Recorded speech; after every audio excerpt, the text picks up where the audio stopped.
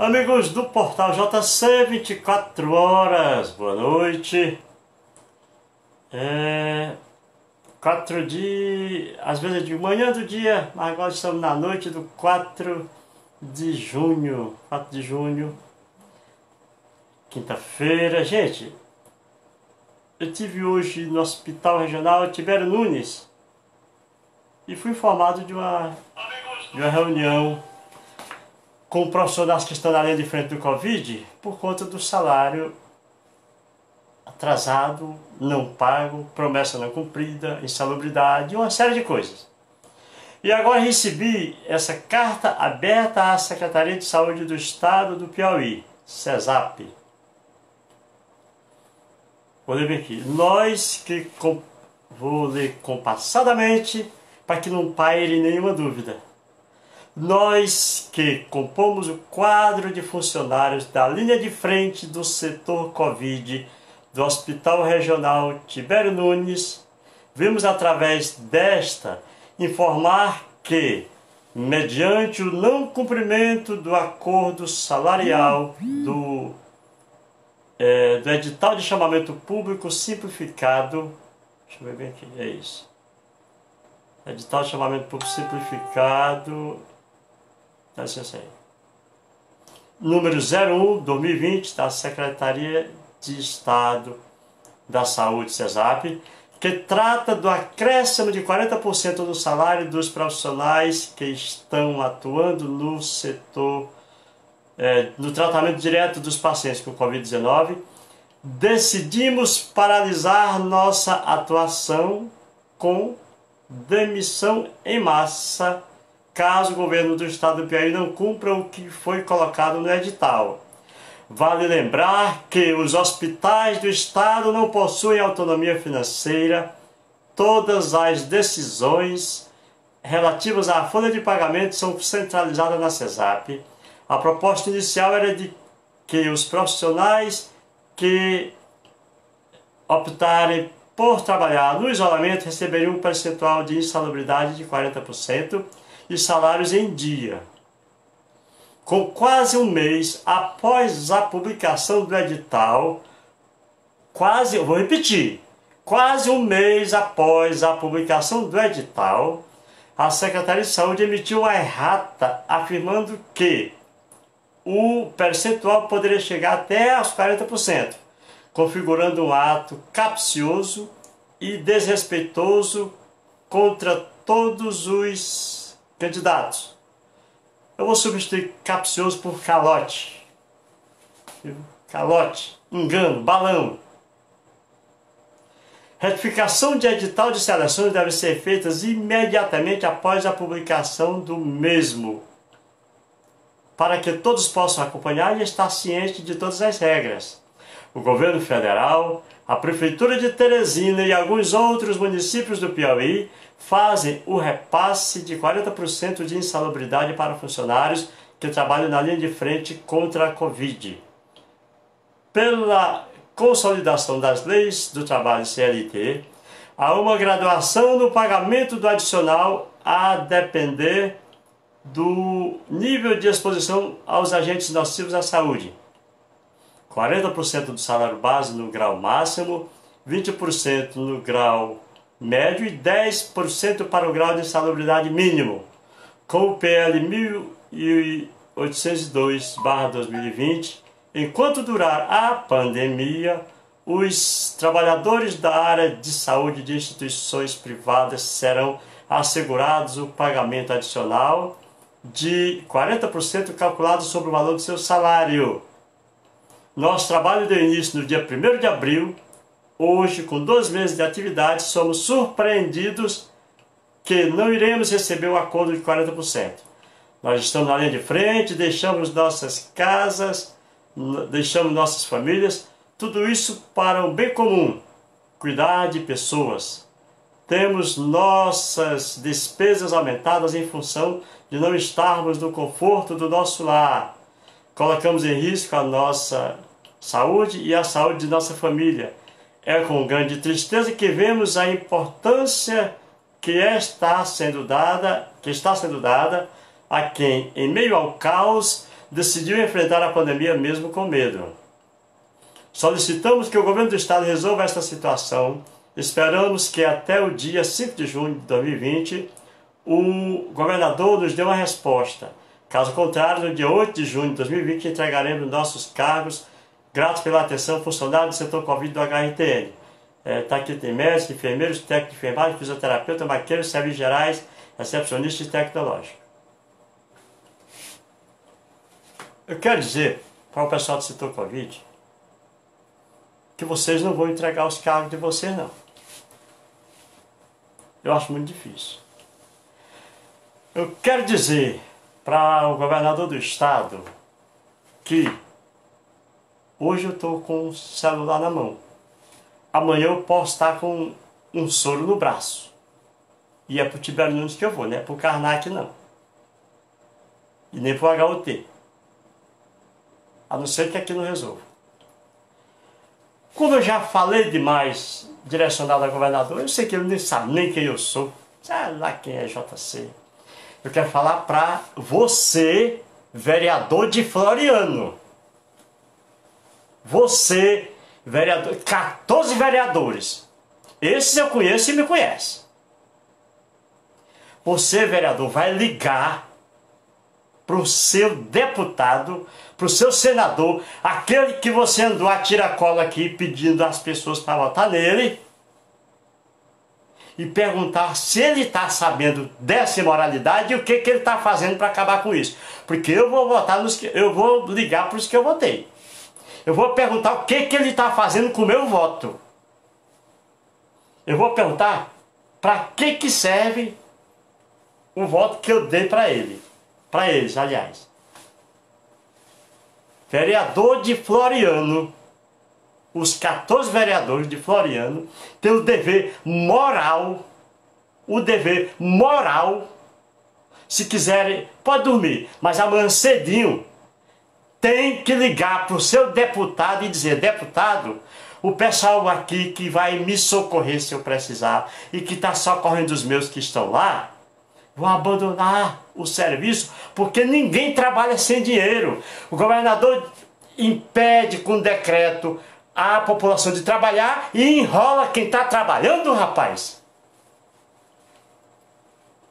Como é que diz? Fica em casa que os profissionais de saúde estão na rua. Sem salário. Disse que era 40% e agora vem dizer que é 10%. Um mês depois, dois meses depois. Gente, onde é que nós estamos? Nenhuma pandemia dessa que sacudiu o mundo conseguiu sacudir a consciência desses governantes? Será que vai ser preciso um tsunami? Onde é que já se viu? Por nada no mundo justifica dizer que não tem o dinheiro para um salário desse povo. Não adianta tirar foto, fazer matéria, inclusive em alguns meios matérias pagas, para dizer que tem isso, que tem aquilo, se não tem profissional para manejar. Hoje eu fiz uma matéria, fiquei feliz da vida com o Dr. David, falando de 10 novos é, ventiladores. Hoje são 20 vagas na UTI. Sim, mas sem ter o profissional, vai servir de quê? Já basta os que estão se afastando pelo contágio. Me diga qual é a máquina que funciona sem a mão do homem? Qual é a mão que funciona sem alimento? Qual é o corpo que funciona sem comida?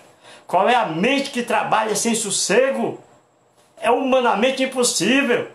Isso é covardia. Transformar os nossos heróis do Covid em vítimas do covarde. Esse vídeo eu peço que vocês compartilhem. Dificilmente eu faço isso, mas esse eu peço que compartilhe. Pelo menos os 14 vereadores de Floriano eu sei que vão ter acesso a esse vídeo. E vocês vão ligar, porque eu sei, eu conheço vocês, eu sei que vocês podem ser qualquer coisa que se que diga de vocês porque na política diz verdades e mentiras. Mas covardes eu sei que vocês não são. E sei que não querem ser chamados. E serão, se abandonar esse povo nessa hora. Pode dizer assim, não, mas vereador é só no município, não mexe no estado. Mas o seu deputado mexe, o seu senador mexe. Principalmente aqueles que apoiaram o governo. Senhor prefeito municipal, o senhor está sabendo disso, prefeito? Eu acho que não. Eu acho que não. Ligue para o governador, que o senhor é aliado. Ligue para o senador Ciro, que é aliado também. Se eles disserem que não pode fazer nada, aí, pelo amor de Deus, liga para o Batman, liga para o Super-Homem, liga para a Mulher Maravilha. Sabe o que, que me deixa sossegado de tudo isso? É que tem um mandatário que não precisa do seu voto da urna, ele precisa do seu voto de fé. Tem um mandatário que não pede para você votar nele, pede só para você amar, não só ele, mas ao próximo. Tem um mandatário que não está de quatro em quatro anos pedindo para ser renovada, porque ele é eterno. Tem um mandatário que não somente é o responsável pela nossa saúde, mas é responsável pelo nosso fôlego de vida, pela nossa respiração, pelo, por tudo que a gente faz. E só faz isso com os heróis do Covid, os covardes que não têm sintonia com esse mandatário chamado Deus. Eu tenho certeza absoluta que se o cara rezar, ele não tem coragem de deixar pais de família que abandonaram, abandonaram não, que deixaram suas famílias, se afastaram dos filhos, criaram novas despesas, inclusive com casas de aluguel para eles. E que na maioria estão do hospital sabendo que o irmão perdeu o emprego, o pai não está indo para a feira porque o governo não permite, o esposo perdeu o emprego na loja. E situações diversas e adversas. Eu tenho certeza, vereador, eu vou falar agora só para o vereador, porque o governador não me escuta não. Vereador, você vai ligar, você vai ligar para o seu deputado estadual, para o federal e para o seu senador. Pergunte a ele duas coisas, se ele está sabendo dessa situação e o que, que ele está fazendo para mudar esse estado de coisa.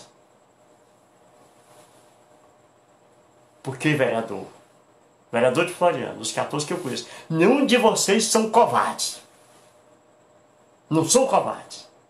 E muito menos querem ser chamados de covardes. E o cara que recebe do povo a missão para defender os seus interesses e na hora dessa se omite, é covarde sim! O cara que recebeu 600, 700, 800 sufrágios na urna para ser o defensor da população e nessa hora tira da reta, é covarde sim. Então, o que eu peço nesse momento é que os 14 vereadores de Floriano, o prefeito e também o vice, né, professor Antônio Reis, entendeu? Dão uma ligadinha pro deputado que vocês votaram. Diga para eles que nós, florianenses, estamos na iminência de ser abandonado por aqueles que foram abandonados pelos governantes. Eles não vão abandonar a gente por covardia, não. Eles vão deixar o hospital para cuidar das famílias, porque sem salário é abandono. Então está dado o recado. Recado para os 14 vereadores, para o prefeito e para o vice. Ligue, ligue na primeira oportunidade para o seu deputado federal, para o seu estadual, para o seu senador e diga para ele que não permita que segunda-feira haja demissão em massa em Floriano. Amanhã é sexta, ainda tem expediente administrativo, ainda dá para se fazer alguma coisa, que quando se quer se faz. Até no sábado já foi feito pagamento do Tibério Nunes. Então se quiser botar em ordem, bota. Só não bota se não quiser. Só não bota se for covarde. Então ligue. Os suplentes também, que vão logo mais, os vereadores também, logo mais vão estar aí de porta em porta. Vote em mim, vote em mim, vote em mim, vote em mim. Faça por merecer. Ligue para aqueles que um dia vocês pediram voto, que ajudaram a chegar lá, e honre o voto que vocês deram neles. Eu vou fazer isso. Só que eu não vou esperar o dia amanhecer não. Como eu sou mitidador, eu vou ligar é agora. E quando o cabo ver de madrugada, vai ver minha chamada. Entendeu? E vou perguntar, o senhor está sabendo disso? Se ele disser, ou não. Pois agora tá. Depois me diga o que, que o senhor fez. Eu não quero saber agora o que o senhor vai fazer, não. Porque vai fazer é um tempo indeterminado. Eu quero que o senhor me liga depois dizer o que foi que fez. Isso é brincadeira, rapaz. Aí nós estamos aqui na iminência de pegar o Covid, entendeu? O governo pagando pessoas para entrar nas casas e dizer, parece que você tem, tchau. E abandonando quem abandona suas famílias para cuidar da gente, rapaz. Que história é essa, rapaz? Que tem cabimento um negócio desse? Isso é de tirar o sossego de qualquer um. Eu já estava no início do repouso quando recebi essa carta e o sono foi embora. Vocês, enfrentantes do Covid, que estão sendo vítimas do covarde, vocês não vão deixar o cargo de vocês, não. Daqui para segunda-feira eu espero que tenha uma resposta. Quando o dia amanhecer, eu vou encher o saco é pessoalmente dos vereadores. Dos vereadores, viu? Eu só quero deles que eles liguem para o deputado dele, para o senador dele, para as pessoas dele e façam essas duas perguntas. Primeiro, se o cara está sabendo, e segundo, o que, é que ele está fazendo. Se 14 vereadores ligarem para o seu governador, para o seu senador, vai ser muitas ligações. E considerando que dinheiro tem, o cara paga. O cara paga. E você, eleitor, quando for bater na sua porta pedindo voto, pergunte o que, é que você fez na época da pandemia que os funcionários de Tiberino estavam abandonados. O que foi que o senhor fez, seu vereador? Se ele disser, rapaz, eu vi o JC e liguei para o meu deputado. Menos mal. Se ele disser outra coisa, é covarde. Porque a agonia é essa. Não adianta vir conseguir respirador, conseguir não sei o quê, blá, blá, blá. Os melhores equipamentos são importantes. Mas o melhor carro do mundo não anda sem motorista. Viu? O melhor instrumento do mundo não opera sem a mão do homem. Além disso, é covardia, é covardia dizer, fique em casa, que no hospital tem gente para você. E dizer para que estão no hospital que era 40, caiu para 10 e nem isso eu saio esse vídeo não vai ficar de graça. Aliás, nenhum dos nossos fica. Graças a Deus tem sempre a resposta. E esse a resposta virá. Se vocês, governantes, que têm a caneta, não quiserem dar a resposta para a gente, aguarde a resposta de Deus. Aguarde a resposta de Deus. Vou encerrar. Compartilhe esse vídeo. Esse eu peço. Esse eu quero que vá longe. Eu estou pedindo. Meus amigos do da frente do Covid. Meus heróis de branco. Heróis e heroínas. Que deixaram os esposos, filhos, mães idosas, avós, amigos. Largaram tudo para uma guerra contra o inimigo invisível não perca fé, não. Não perca fé, não.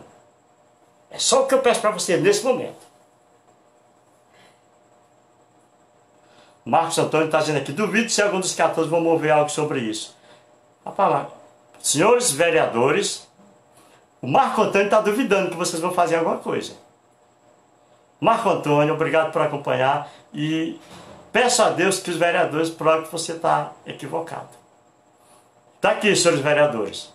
O Marcos Antônio está dizendo, duvido se algum dos 14 vão mover algo sobre isso. Amanhã a gente vai saber. Então, meus amigos, eu sempre declaro um, um amor imenso pelo, pelos meninos e meninas do Tibério Nunes. E agora, nesse momento de dor, mais ainda. Não perca a fé. Não perca a fé não, viu? Acredite em Deus. Não sou religioso, pelo contrário, eu sou até meio descuidado em relação.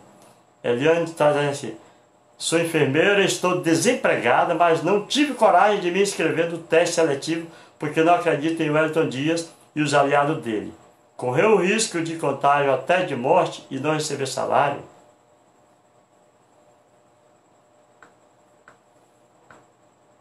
É, ver mais aqui, vai aparecer. Tem que ver mais aqui não receber salário e tal, tem mais coisa aqui, não estou conseguindo abrir. Você Eu estava aí recebendo a mensagem. Bom, ela não teve coragem eu conheço pessoas que também não tiveram. Agora, pelo amor de Deus, uma coisa é o, é o cachaceiro que não tem crédito no boteco. Agora, um profissional desempregado dizer eu não vou porque eu não confio no governador. Pelo amor de Deus, se sair no fundo do poço moral, me arruma um dicionário.